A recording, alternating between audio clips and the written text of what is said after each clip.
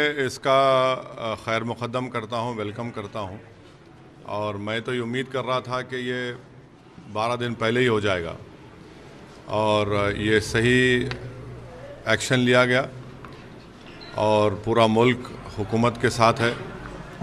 کیونکہ دہشت گردی میں جو واقعات ہوئے ہیں، چاہے پٹھان کوٹ ہو، اوری ہو، پلوامہ ہو تو جو آج جو ایکشن لیا گیا، ہم اس کا ویلکم کرتے ہیں۔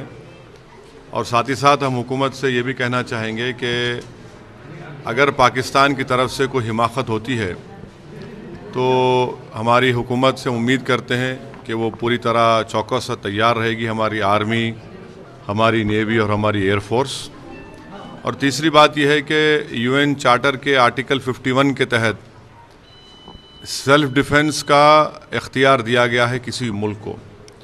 اور آرٹیکل ففٹی ون کے تحت اگر کوئی نان اسٹیٹ ایکٹرز کو کوئی ملک کی سرکار ان نان اسٹیٹ ایکٹرز کو نہیں روکتی ہے، تو موجودہ جو اس کا انٹرپریٹیشن ہے، جو ماڈرن انٹرپریٹیشن ہے ففٹی ون کا، آرٹیکل ففٹی ون کا انٹرنیشنل لاء کا، اس کے تحت سیلف ڈیفنس لینے کا اختیار ہے۔ اور ہندوستان نے اس ففٹی ون کا اختیار کیا ہے۔